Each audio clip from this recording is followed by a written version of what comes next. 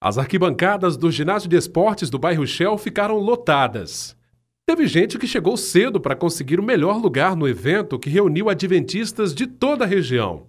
A caravana Novo Tempo contou com a presença de pastores dos distritos de Linhares Central, Juparanã e Interlagos. O louvor foi ministrado pelo cinquentenário quarteto Arautos do Rei.